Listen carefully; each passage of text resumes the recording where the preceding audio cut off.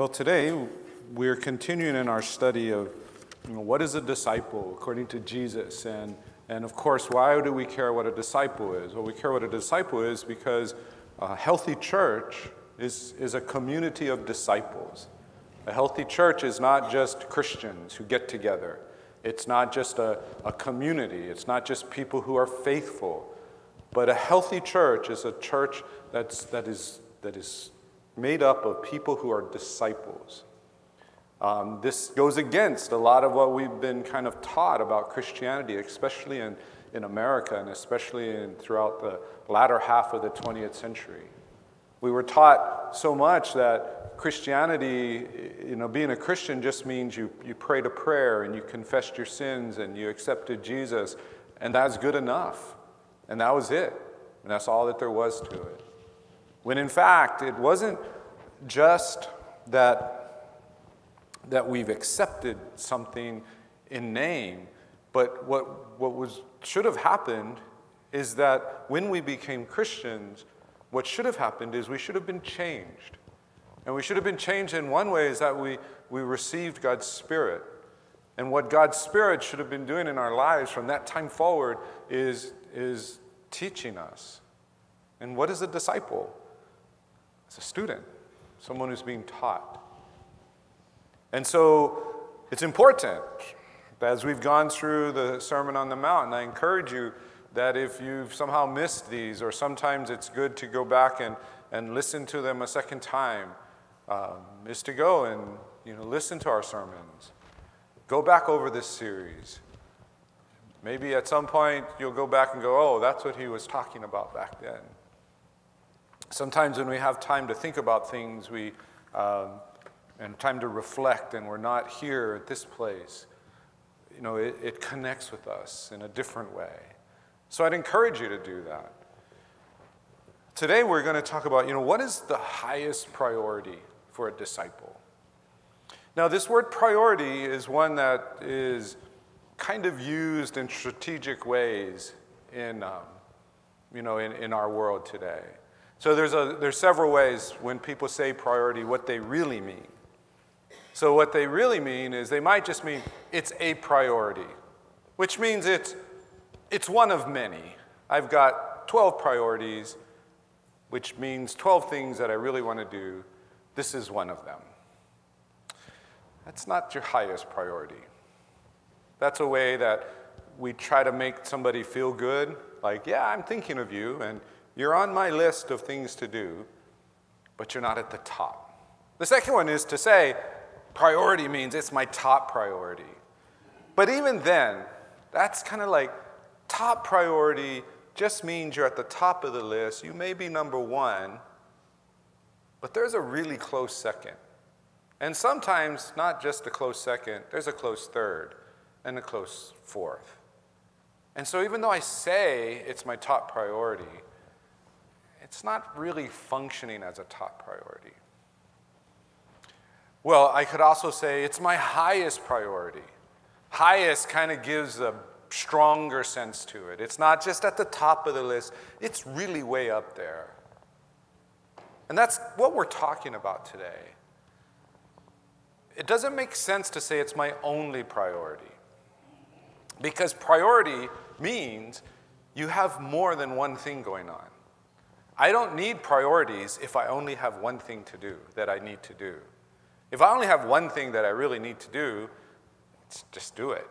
I don't have to prioritize. But if I say it's my highest priority, what does that mean? It's not just one of many. It's not just the top where there's, a, there's several really close ones. But the highest priority takes on kind of this this special meaning. And there's a reason for a disciple, your highest priority needs to be the right priority. Because if you get this right, it, makes, it puts everything else in order. It puts everything else in its place. If you get the highest priority right, it orders everything else. When I was, a, uh, when I was training to be a journalist, and I was, you know, going to school at the University of Hawaii and all of that. one of the things they would tell us is that the most important sentence when you write a news story is your first sentence. It's called the lead. I said, if you get that right, the rest of the story falls into place. And they would say, if you have an hour to write a story, which sometimes in radio and television we had less than an hour, but if you have an hour to write a story, spend half the time writing the first sentence. And then the rest will take care of itself. Same kind of idea.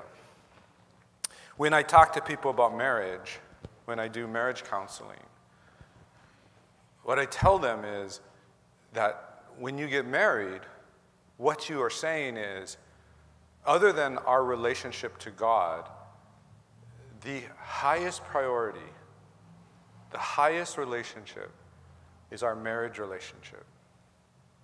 There can be no rival.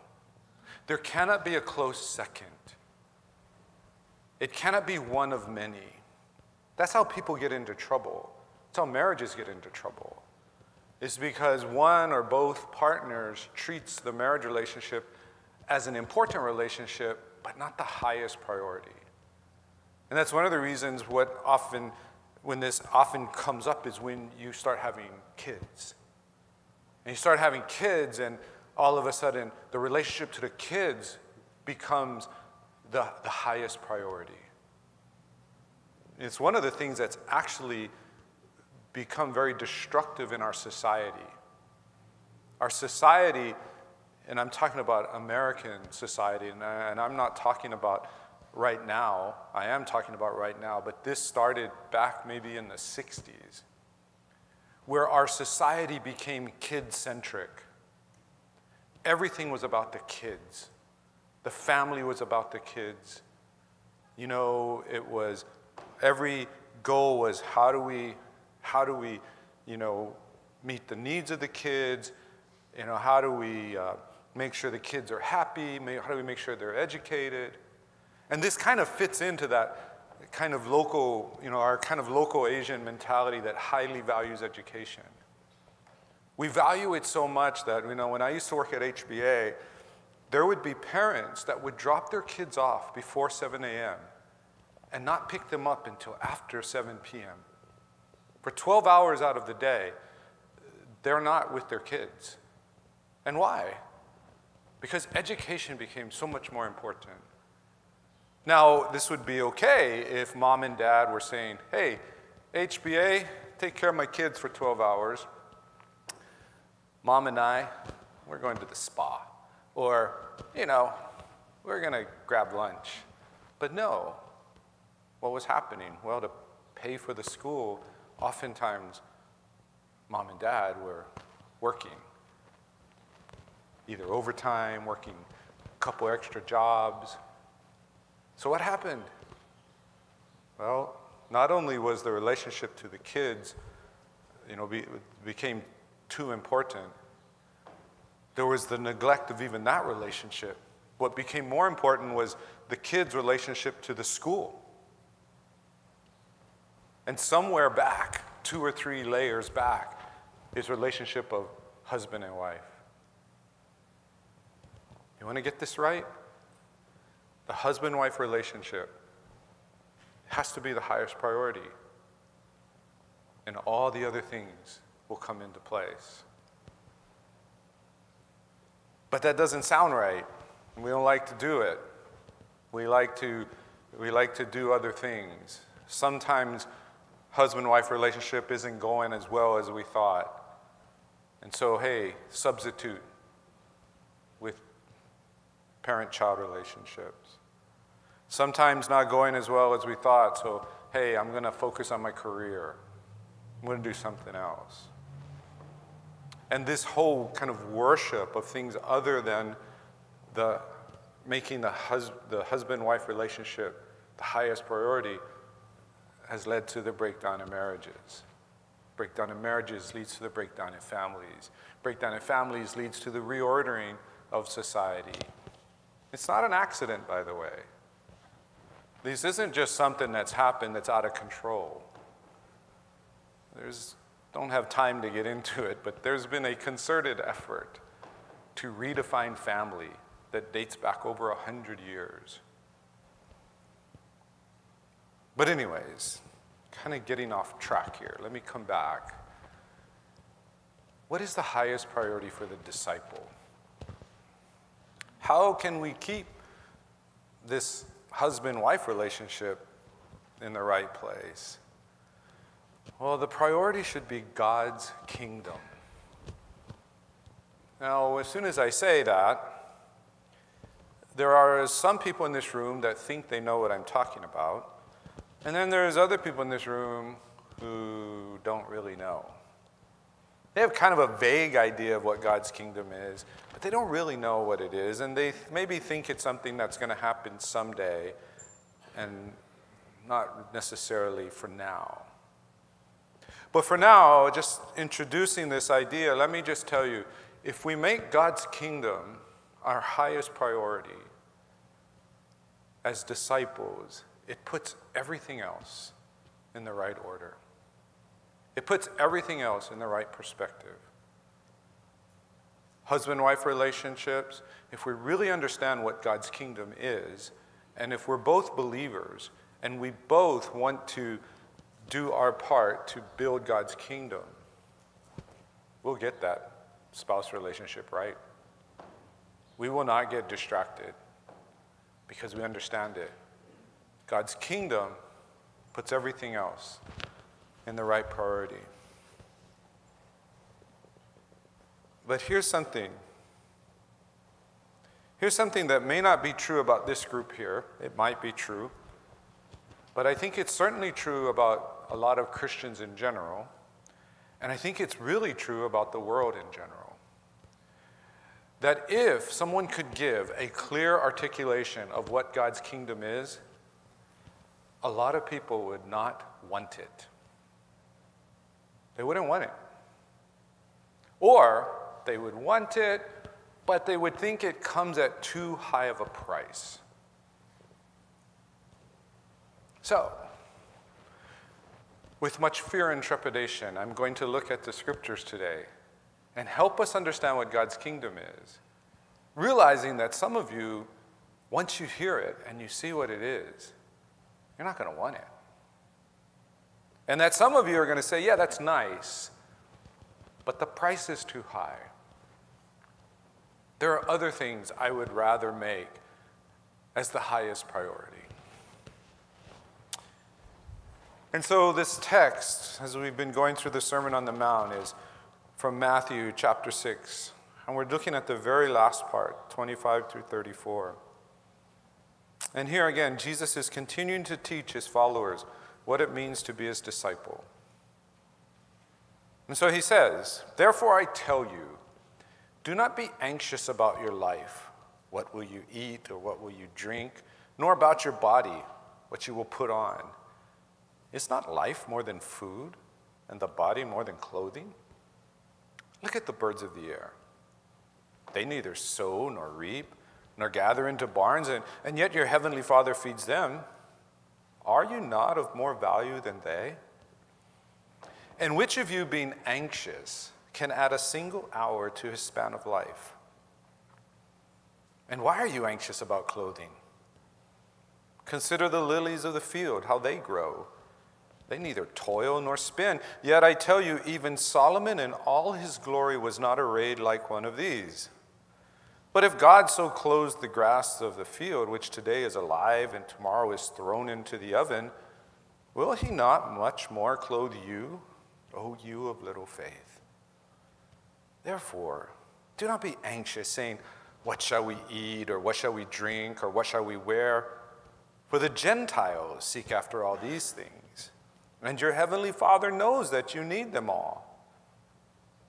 But seek first the kingdom of God and his righteousness, and all these things will be added to you. Therefore, do not be anxious about tomorrow, for tomorrow will be anxious for itself. Sufficient for the day is its own trouble. Let me help some of you, because if you're like me, you've been taught that this passage of Scripture is about something that it's not about. In fact, I used to think it was about something that it's not about. And in fact, I probably have taught people that it's something that it's not about. People look at this and they think, like, oh, this is about God saying He's going to meet my needs. This is about God saying, don't worry, don't be anxious. He's going to meet my needs. That's not the main message of this. That's the setup. It's not the main message. The setup is to talk about this. The setup is to get you in the right frame of mind to hear the message. But we get distracted. In fact, our distraction based on need and worry is proof that Jesus is right. It's proof that our human nature focuses on our needs. So even when the point of this passage is something other than your physical needs, that's all you can think about when you read it. It's proof. And we miss the, the emphasis, we miss the message. It's not secret, it's not hidden. It's right there. It's pretty plain. But what happens is we, we, we miss it. When I used to teach at the college, I used to talk about, um, when we are talking about the life of Jesus, we'd talk about parables. And we'd say, one of the strengths of parables is that parables were, were stories about common things. Because sometimes a pastor or teacher is, is so good at telling a story to illustrate a point that people don't know what the point is. They just remember it was a great story. Or worse, you know, having grown up, going to church my whole life as a growing young man, the worst was when the pastor would use an illustration using food. Because as soon as he started talking about food, all I could think about was lunch, right? It's distracting. He starts talking about needs, and he does it in this beautiful way. Talks about the birds, talks about the flowers, and how God meets their needs. That we're like, needs, needs, needs. Oh, so this is a promise God's gonna meet my needs. No, this is direction, this is instruction, perhaps even command. What is it? It's right there chapter 6, verse 33. What does he say? Seek first the kingdom of God and his righteousness. That's the message. The message isn't God's going to meet your needs. The message isn't don't be worried, don't be anxious. The message is seek God's kingdom and his righteousness first. That's the message. You get it? That's the highest priority His kingdom and His righteousness. We have to not be drawn away to saying, yeah, yeah, yeah, but He's going to meet my needs, right? He's going to meet my needs, right? If you're still obsessed with God meeting your needs, you're actually doing the opposite of what Jesus is saying to do in this passage. He says, Seek first. Seek first his kingdom. Seek first his righteousness. That's what disciples do. And there is no rival. There is no rival. God's kingdom is their highest priority. But here's the problem, as we talked about earlier people only have a kind of vague understanding of what his kingdom is. Some people think like kingdom is heaven, heaven is eternal life. So focusing on the kingdom is just sharing the gospel. Sharing the gospel is a very important part of it. But that's not it. That's not all of it. What is this kingdom? Well, one of the ways we understand kingdom is his kingdom is where he reigns. Now, you might go, well, God is sovereign over all, so he reigns everywhere. Yeah, that's true. But the way the Bible talks about this is like it's where God's rule, where God's reign shows up, manifests, appears. So sometimes Jesus would say things like, you know, when you do these things in my name, know that the kingdom of God is at hand. He didn't mean the kingdom of God is coming. He's saying, no, it's at hand, it's right here.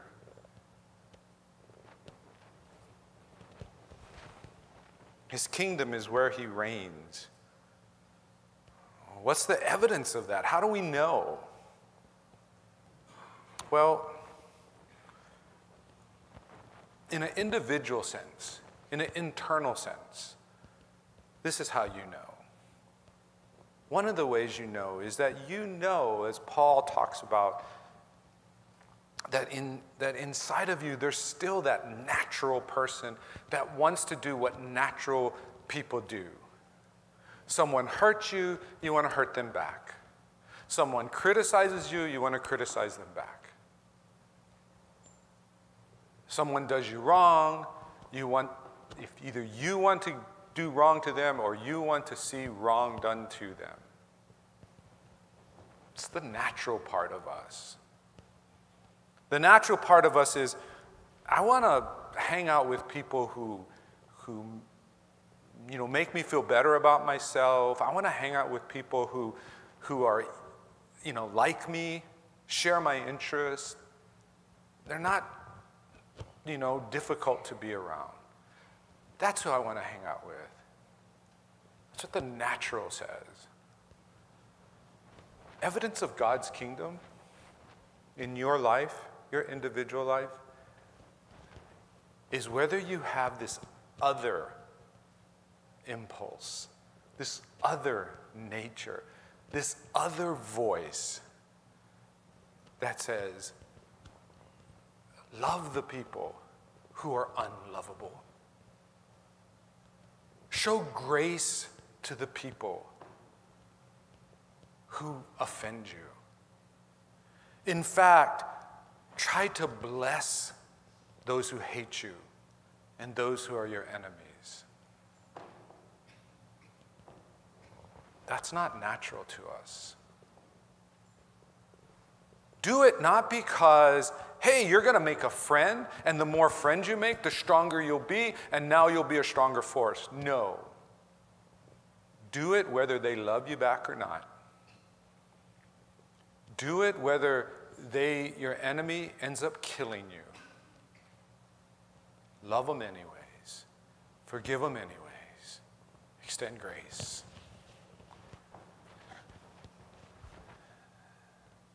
If that's a really foreign thought to you, if you're like, I've never had that impulse ever, we need to talk, okay? We need to ask when you prayed to receive Christ, did you really receive Christ? Because the Bible promises us that when we ask Christ to be our Savior and Lord, He sends us His Spirit. And if you ever want to see what is evidence of that Spirit, which is really evidence of the kingdom, you know, Paul makes a nice, neat little list in Galatians 5. And he tells us these shouldn't be foreign thoughts to us. These shouldn't be things that we don't get. We may not do it and we may not do it well, but we know inside of us God is doing a work on us that's helping us to love our enemies and to extend grace to those who let us down. Disciples make God's kingdom their highest priority. And they do it in two ways. One is you want that kingdom to be, to be showing up in your life. You want to know more about that love. You want to know more about that grace. You want to know more about that ability to forgive, to reconcile. You hunger for it. It shows up there. But it also shows up here. It shows up in the community of faith. I've told you that one of the marks of a healthy church is how quickly are we to reconcile? How hard do we work to reconcile? Or how easily we sit and hold grudges? How easily we sit and get bitter? How easily we, we just, we, we won't work or we'll just go away. Mark of a healthy church is one that works for reconciliation. And understand, reconciliation is not easy. Unfortunately, people think it's easy. You know, the culture had such a hard time, American culture had such a hard time where our public, publicly, our leaders would not say, I'm sorry. And for years, you would never hear that. And then around the 80s and 90s, you know, somebody said it. And when somebody said it, they were so positively received, then everybody started apologizing all the time. I'm sorry, I'm sorry, I'm sorry, I'm sorry, I'm sorry. Saying I'm sorry is not reconciliation. Reconciliation is not just clearing up the problem. Reconciliation is making the relationship better and stronger. It's not just, hey, I'm sorry, hey, no problem, cool, we good. No, we leave that problem, we leave that encounter better and stronger. Think about that. That is such genius by God. God takes the thing that would tear apart our groups conflict, disagreements, disputes, hurt feelings that should tear apart groups. He takes that and he says, if you will reconcile, it'll make you stronger, it'll make you better. But we're so stubborn sometimes, like little kids. We just dig our heels in. You don't know what he said. You don't know what she did. You don't know how that makes me feel. I'm not going to budge. And we're like little kids thinking we're so righteous. And it doesn't get better.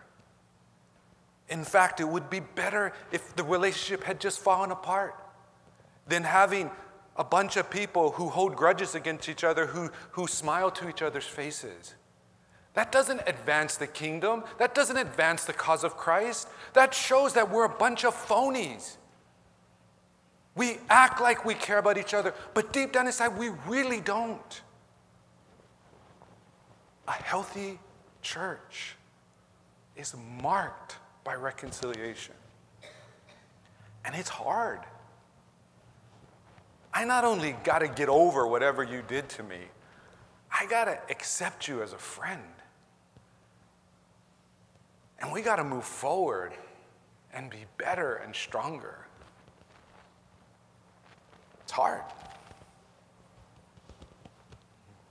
But that's part of what it means to be God's kingdom. But he doesn't just say kingdom, he says his righteousness. You see, a lot of people are okay with the kingdom thing because it's kind of vague. And then if I talk about love and grace and forgiveness, that's okay too because it's kind of vague. And I really don't have to go to the Bible and understand love because, you know, we all know what love is, right? Do we? Do we really? I love when society defines love and Christians go, yep, that's it. You're letting society define what love is? God defines love. He defines it in the Word of God.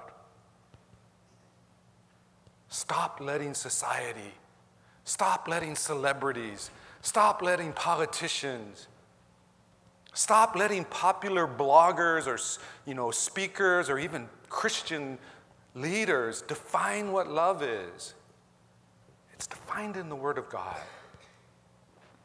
But some people, they like it because it's vague enough that I can make, I can kind of fill in the blank what love is. I can make it be whatever I want it to be.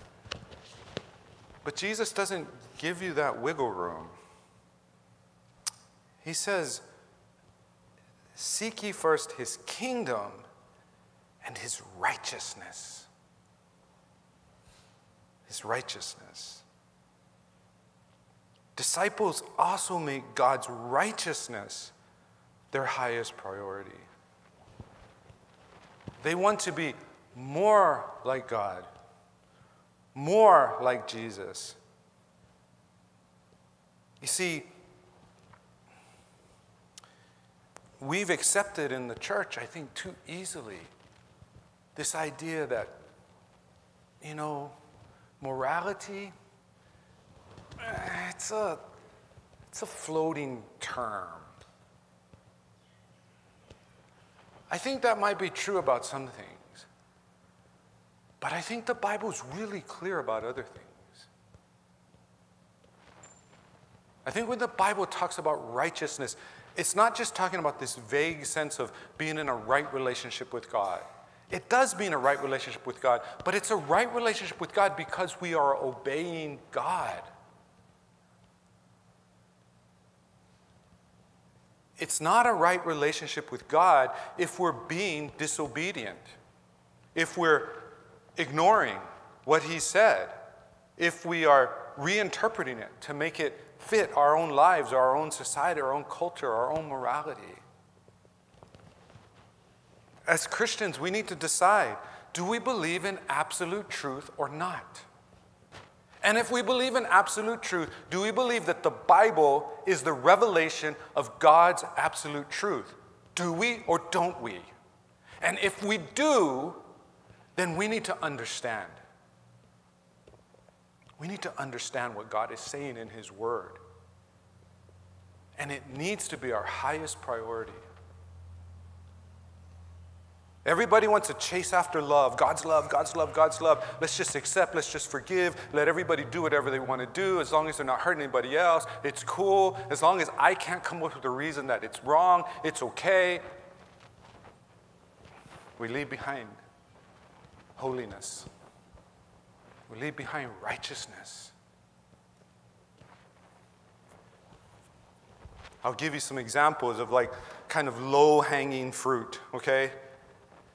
You know, I think I used this example before. I forget where I used them all. But let's say we're in a plane, all of us, and the plane crashes, but we all survive. And then we're kind of like floating there in the life rafts, and then, and then this, this, this guy comes out to meet us in a boat. And we can see in the horizon there's, there's two islands. And, and the guy says, okay, there's two islands, and you guys can choose which island to go to. On this island, okay, there's no laws. In fact, murder's okay, stealing's okay, lying's okay, you know, adultery, fornication, having sex with whoever you want, that's all good. It's all okay on this island. But on this island,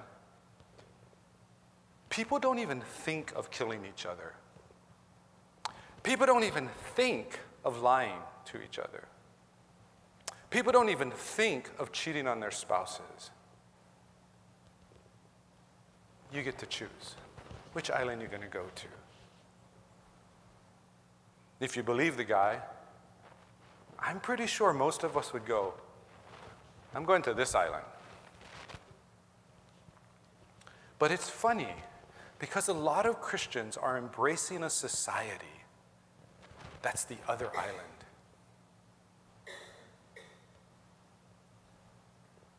Understand, God's rules are not arbitrary. God's morality is not just he was one day sitting up there going, Man, what can I do? What rules can I make up for these humans? No. He made them for the kingdom. He made them because it reflects who He is. He made them because it's what a good society is. I sometimes think that the societal test for, for actions is if you had more of it, would it make your society better or worse? And again, we have the low hanging fruit. If we had more murderers, most of us would go, worse society. We should try to work to have fewer murderers. if we had more stealing, yeah, that's good societies if we have less stealing. But what about some of these other things that our society is currently de- deciding what is good? I'm not even talking from a Christian standpoint, from a biblical standpoint, simply asking from a societal standpoint. What is good? Is it a better world? Do we have better families? We work, we seek after God's righteousness, which means we have to understand it.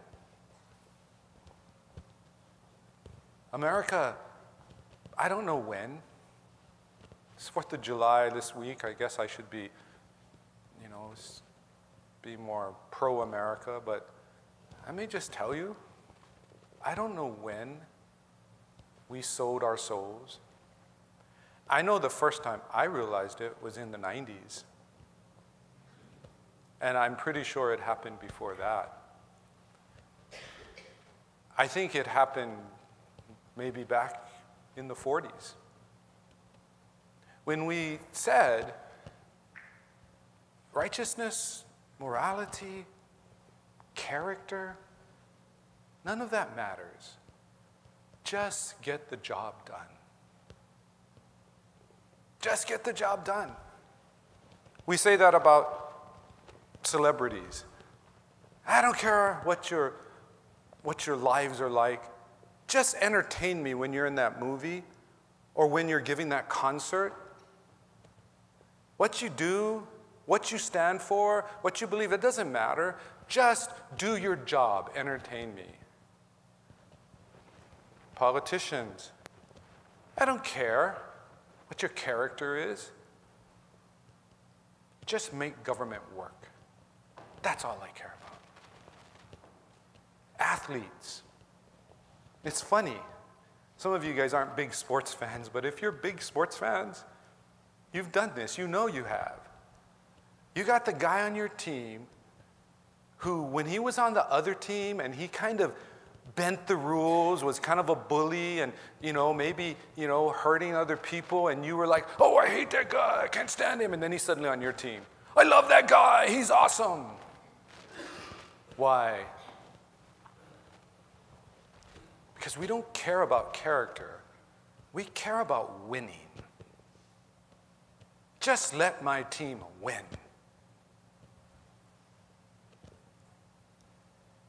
We've let righteousness go by the side.